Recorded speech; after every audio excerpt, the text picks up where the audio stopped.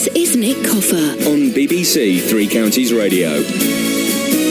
It's 2.13. Now, vocal harmonies, it says here, can often make our hearts melt and go a little gooey. Yeah, no, I'll, I'll, accept that. Brit Award winning trio Blake are guilty of having this effect. I should point out this was written by Nia. So, Nia, if this is the effect that it has on you, then all the better. Especially on their female fans. There we go. And uh, even the royal family, too. Their first ever live performance was to an audience of over 90,000 people at Wembley Stadium. And since then, they've performed at Buckingham Palace on numerous occasions, much to Nia's disappointment, they haven't performed in her front room. The band, now in their seventh year, are back on the road and they're heading to the three counties. Three shows actually Milton Keynes, uh, High Wycombe, and St Albans. I spoke to the boys last week and I began by asking them if it was an urban myth that they all formed on Facebook? Well, going back seven and a half years ago, we did indeed uh, get back together on Facebook. We all went to music colleges in London, to Guildhall School of Music and Drama, and the Royal Academy as well. Um, and when you're studying there, you meet people, you come up with musical ideas, you chat about things in the bar, and then life moves on, and you start getting normal jobs, maybe even boring jobs, selling fish or being a teacher in a school, things like that. And we just started having this conversation over Facebook about what it'd be like to try and mix together some of the different forms of music we'd all enjoyed over the years, including the classical we'd all trained for, but also mixing it in with pop music. And since we all came from choral backgrounds, we'd all sung in choirs at various times, we just loved the idea of mixing that all together with a harmony style. Um, a few rehearsals later, and Blake was born, and it was really simple as that. You see, I, have known a few people, particularly who've studied at Guildhall. I, I dated one actually uh, for, for, quite a Did few you? years, and my experience of them is that it, a, it's a very, very, very tough course, but b, it's even tougher to find.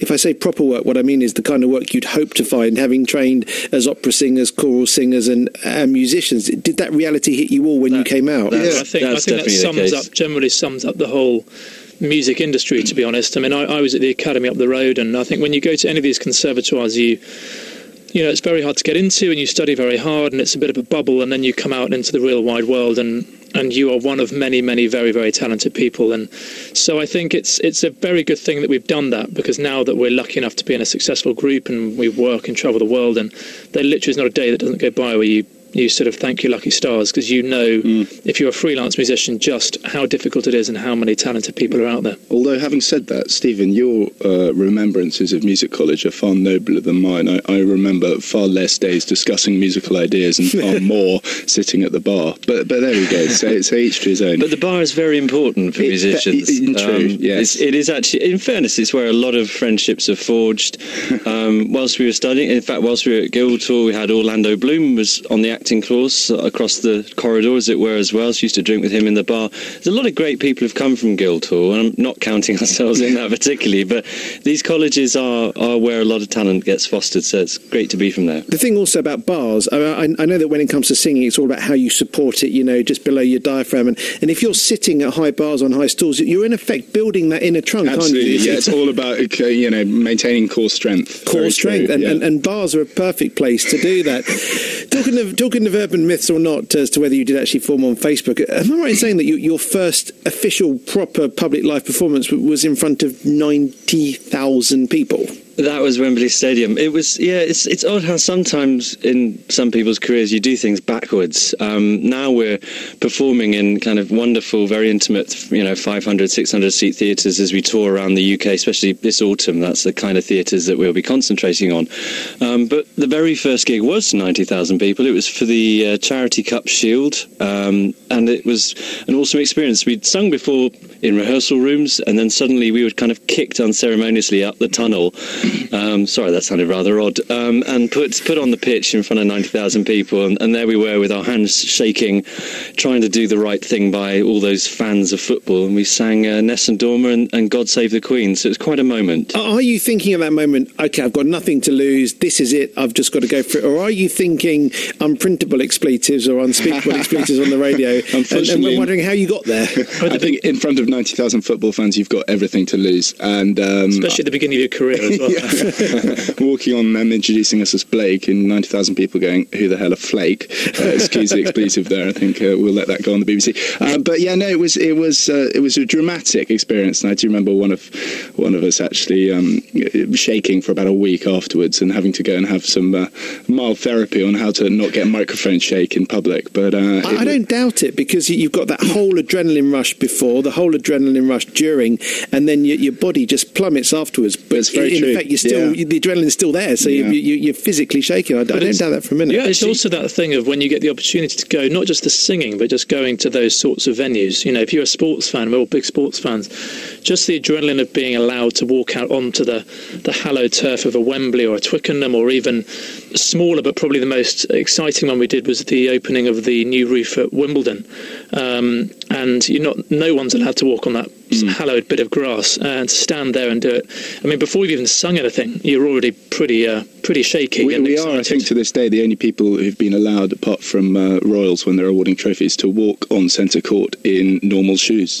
So I- there you go. Interesting fact. I still think it would have been much cooler had they had you performing on the roof as it, as as it was closing. How dramatic would that have been? We Well, wanted I'm not to sure do anyone would have heard us then. Uh, maybe that's your point. no, I, I bet you did want to do it though. Uh, talking of nerves, you're you're perhaps among the bands most loved by royalty. You've performed in front of your fair share of uh, royal family members, not only here but abroad as well, haven't you? We have. It's funny you say that. I'm still waiting for the invitation for the wedding, which never turned up. But um, no, we uh, we've been very very fortunate to do a lot of performances uh, at the palace itself, at Buckingham Palace, and um, at uh, the Albert Hall. Uh, and it's it's always a great privilege. And as you say, we've we've also performed with for some pretty um, extraordinary dignitaries around the globe. So I think it's the, because the sort of music that we do. Um, you know, sometimes if we're doing a cappella, it's very intimate and emotional. If we're doing the big stuff, it's very powerful and dramatic, and and so it can suit those more sort of formal occasions. Um, and generally, when there's a royal in the house, they want something big and impressive, and so we're very lucky. And uh, and it's not always that memorable, as one of the boys will tell you. From was it your first performance at the Albert Hall with older Philip? Uh, oh yes, Philip, yeah, no, we did. We we we saw um, uh, the Duke of Edinburgh a, a, literally a day, maybe two days later at an event, uh, and this was after we'd just performed for them for the Royal Festival of Remembrance in the Albert Hall, and um, we met him and he said, we said. Um, Hey, Royal Highness, it was a huge honour uh, to to sing for you yesterday in the Albert Hall, uh, and he replied, "Oh, was I in the Albert Hall yesterday?" so, so there we go. So we clearly had a huge, a huge You influence very on them. much left your mark. Memorable. Talk- talk- Talking of leaving your mark, though, your, your links with the royal family um, have led you to, to work with Walking with the Wounded, and, and you've, you penned a charity single, didn't you, called "To the Sun"? We did. Tell me the story behind that. Well, uh, this has come about. Uh, we do a lot of, we have done a great deal of work in over the years with military charities. We were involved in the fundraising from the very beginning of the Bomber Command and Help for Heroes and the big matches at Twickenham, and and then through a, a personal friend of mine who is very much involved with the founding and running of Walking with the Wounded, um, we said, please, can we can we get involved? So we worked with a great songwriter um, called Alistair Griffin, and he he penned a song which we then worked with him and did the harmonies on, uh, as you say, called "To the Sun," which became the anthem for the South Pole expedition, which uh, Harry himself even went on as patron. Uh, and it was a great honour, and we sang at the launch um, of the sort of uh, to send them off on their way in, in Trafalgar Square, and we met Harry there, and uh, and we perform it whenever we can, and. Um, if people want to hear it, it is it is on iTunes. It's available for download, and every penny of it goes to to that charity, which do extraordinary work. They're they're quite unusual. It's not just about the rehabilitation physically, um, but they help the huge number of servicemen and women who come back, who've joined the army very young, who haven't got much of an education, uh, and come back into normal civilian life with a, a terrible injury and and the mental scars as well, uh, and then find it very difficult to get work and, and rehabilitate themselves into normal life. So they're a, they're a fantastic charity. And brilliant that you're involved with it as well. But bringing it even more up to date, we, we've always referred to you as a as a crossover band, and now you've kind of well well and truly crossed over, haven't you, with, with your latest album, Start Over? You, you've you've crossed the Rubicon into full blown non classical pop, haven't you? Well, we, we, we crossed over and now we're crossing back again. That's the funniest thing. I mean, I think what we found over the years, I mean, for us, the biggest thing is, is performing live. We love giving concerts, we love touring around the UK. Um, you know, we're popping into the stables for, for two nights this August and on the 28th and the 29th, and that's always amazing fun. And when you're at concerts like that, you suddenly realise that you've got to you've got to give the audience what they want, which is always a mixture. We love variety in our shows, and the audiences love it even more.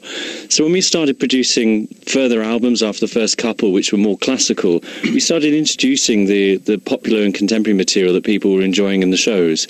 And now the, the latest one, which is coming up this October, which is called In Harmony, that's actually a full-on mixture of pop and classical and musicals on one album. So we've become very schizophrenic in our musical styles. And, and, you're bringing the In Harmony tour to, to our patch as well. Wycombe Swan, I think, on the 23rd of September. September, and uh, and uh, the Alban Arena in St Albans on October the second. So they'll get a chance to see your your schizophrenic act uh, or, or, your, your, your, your, how would you describe it? Your your your two I like that. That's our new tagline. That's going on the poster. the most schizophrenic act in the world. I, I, we are. We mix all the genres together, and the In Harmony tour later this autumn. That is um, that features a lot of songs from the new album. So anybody's looking forward to that, that's the tour to go to. Um, but the ones at the stables are uh, are very very special. It's a smaller venue. It's only about 350 seats. It's very, very intimate, almost like a cabaret club, and you get to know us very well. One could say possibly too well. I should also say the other exciting bit for us, which we're going to continue with this tour, is we always find local choirs to come and join us. So there's very much an element of uh, local talent on stage with us, uh, and they do a solo song and then the four or five uh, numbers with us as well. So um, there should be lots of uh, parents and friends in the audience cheering on the choirs, and it, it, it, adds a lovely personal touch, a kind of Gareth Malone touch to the to the gig. And it's it's a well trodden path from from Amdram groups. It's always the way to sell out your shows is to get lots of local people involved. and wasn't even our get, thought. Get, get, their aunts and uncles and grandmas and grandfathers, and then suddenly you've got a 500 uh, uh, place full house. Now, before Busted. you go, I just need to ask you about your lost family member. You lost Jules Knight to, to Holby City. We did. What, happened there? Well, you, Jay, you've Jay, just shrunk, haven't you? Jay wanted to be an actor for, for a long time. I mean, you know, he's a great singer, and he was one of the founding members of the group. And uh, we knew for, for sort of nine months, a year before he left, that he was he was looking for acting work and wanted to follow a different avenue. He's now Doctor Tr- Harry Tresilian, Doctor True Love, if you like, on uh, Holby City.